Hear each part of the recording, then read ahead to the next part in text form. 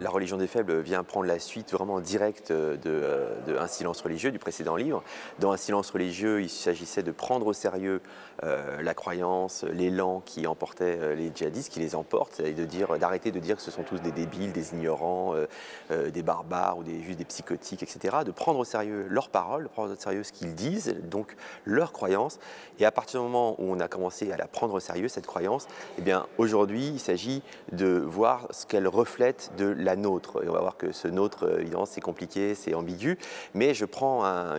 j'ai été très frappé par une vidéo d'un jeune djihadiste qui s'appelle Larossi Abala, qui avait poignardé et égorgé ces, deux policiers à Magnanville il y a quelques années. Et dans sa vidéo de, de proclamation et de revendication, à la fin, il concluait par un dire du prophète où il disait Le croyant est le miroir du croyant. Le croyant est le miroir du croyant. Et bien, cette formule m'a beaucoup frappé et je me suis dit, bah, alors prenons-la au mot. À partir du moment où on a pris, on a commencé à prendre au sérieux euh, la croyance des djihadistes dans le premier livre, Un silence religieux, et bien maintenant il s'agit de retourner le miroir et de se dire, qu'est-ce que cette croyance tellement puissante, tellement séduisante qui emporte aujourd'hui euh, des jeunes à travers le monde entier, la seule croyance euh, pour laquelle des milliers de jeunes européens sont prêts à aller mourir à l'autre bout du monde aujourd'hui, c'est la croyance djihadiste, et bien retournons le miroir et demandons-nous simplement qu'est-ce que ça dit euh, de notre croyance à nous qui refusons tellement d'ailleurs de dire nous, parce que dire nous, évidemment, c'est tout de suite très casse-gueule et très euh, périlleux. Ce nous, c'est un nous euh, de toutes les couleurs, de tous les horizons, de toutes les origines. Il ne s'agit pas du tout dans le livre de le vitrifier ou d'en faire quelque chose d'exclusif, de tribal ou d'ethnique.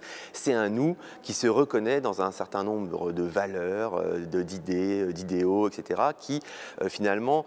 se sont crus ces valeurs très très fortes, très centrales, tout à fait désirables universellement pendant très longtemps, et qui aujourd'hui s'aperçoivent, dont on s'aperçoit aujourd'hui qu'elles sont largement marginalisées. Donc c'est le nous, un nous dans lequel j'ai grandi finalement. Est très nombreux à avoir grandi là-dedans, bien au-delà de la gauche euh, simplement euh, politique. C'est le nous euh, du progressisme européen, le nous universaliste, le nous occidental, le nous des droits de l'homme, le nous des droits de la femme, les nous du féminisme, du socialisme, de la laïcité, etc. etc. Ce nous dont on a cru, dont nous avons cru pendant si longtemps que toutes les civilisations et toutes les cultures ne faisaient que le désirer et dont on s'aperçoit aujourd'hui que peut-être, non, il est en fait assez marginal à l'échelle de la planète, qu'il apparaît de plus en plus comme une petite culture locale voire tribal, et que peut-être euh, à l'échelle de l'histoire, puisqu'on nous on a cru qu'il était euh, à l'horizon de l'histoire pour toutes les civilisations, en fait on s'aperçoit que peut-être à l'horizon de l'histoire, ce nous aura représenté, on peut parler au futur antérieur, aura peut-être représenté quelque chose comme une parenthèse fugace. Ce nous euh, dont de, sur lequel j'essaie d'enquêter dans la religion des faibles, c'est un nous très fragile qui se découvre fragile et qui donc découvre aussi son prix aujourd'hui au milieu des périls. Et de ce point de vue, il y a une figure qui, euh, qui me tient beaucoup, beaucoup à cœur, c'est celle de l'écrivain Victor Serge, qui est trop méconnu, qui est un grand écrivain, qui était anarchiste, libertaire, anticapitaliste, anti-clérical, etc., qui a participé à la révolution bolchevique, aux côtés donc des bolcheviques. Et puis ensuite, il a été enfermé euh, par Staline parce qu'il avait des idées euh, dissidentes. Et puis il y a eu une grande campagne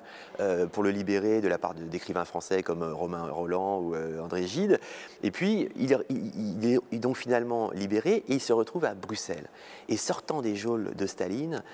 Victor Serge arrivant à Bruxelles, eh bien, tout d'un coup, lui, l'anticapitaliste, anticlérical, anti-bourgeois, antidémocrate euh, euh, formel, etc., découvre le prix, le prix de ce qu'il avait appris à haïr et ce que nous sommes très nombreux finalement à gauche à avoir appris à haïr, ou en tout cas à mépriser ou à critiquer dans ses limites, c'est-à-dire le monde bourgeois, le monde libéral, qui a évidemment plein de, limites, plein d'hypocrisie, de, mensonges, etc., et de violence, mais qui, quand on sort des geôles de Staline et parfois euh, d'autres geôles aujourd'hui à la surface de la, à la surface de la Terre, eh bien, euh, nous retrouve du prix à nos yeux. Et donc, Victor Serge, dans, dans, des textes magnifiques des années 30 et juste avant sa mort, eh bien, dit finalement les valeurs auxquelles je tiens, ce sont les valeurs, dit-il, de notre vieil Occident de de révolutionnaires, de chrétiens, d'hommes de bonne volonté. Je cite de mémoire, c'est un peu euh, à côté. Voilà, notre vieil Occident de chrétiens, de révolutionnaires, de socialistes, d'hommes de bonne volonté, d'hommes de bonne volonté. Et donc, Victor Serge, c'est intéressant, c'est pas un reniement, c'est pas une trahison, c'est juste que,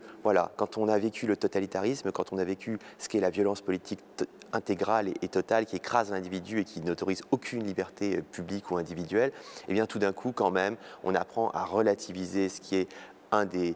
points clés de cette religion des faibles dont je parle, c'est-à-dire une sorte de relativisme généralisé et rampant qui fait que nous passons notre temps à considérer que les sociétés dans lesquelles nous vivons, qui sont très imparfaites, représentent, comme le dit Alain Badiou,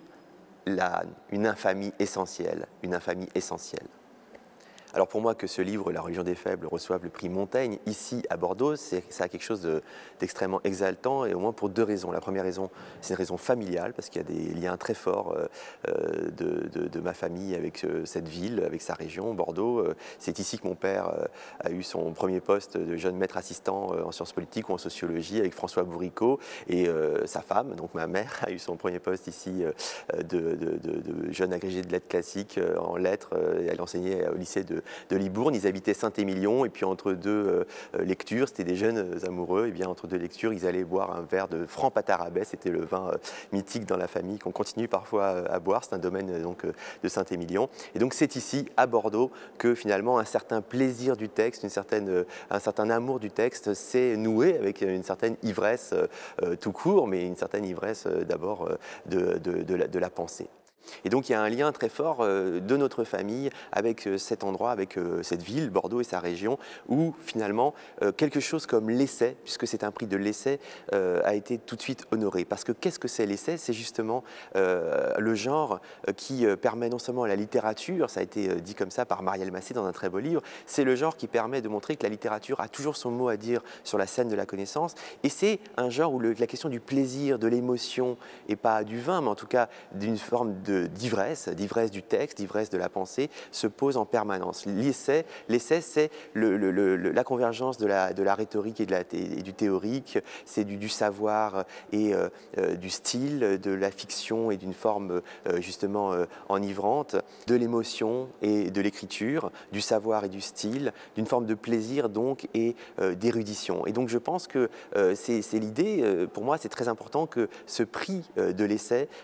soit remis à ce livre ici à Bordeaux pour mille raisons, à la fois familiales et intellectuelles, parce que ce livre, il, essaye à, sa, à son échelle, hein, modestement, de s'inscrire dans la grande tradition de l'essai, c'est-à-dire qu'il ne prétend pas du tout euh, arriver avec des certitudes et des propos extrêmement assertifs et des vérités à asséner. Au contraire, c'est vraiment un texte qui essaye, qui tâtonne et qui essaye de rôder autour de tout un tas euh, de points aveugles et de zones d'ombre et de zones obscures qui nous travaillent, ce nous si fragile et si euh, plein de failles que, qui, qui m'obsède et sur lequel j'enquête dans ce livre.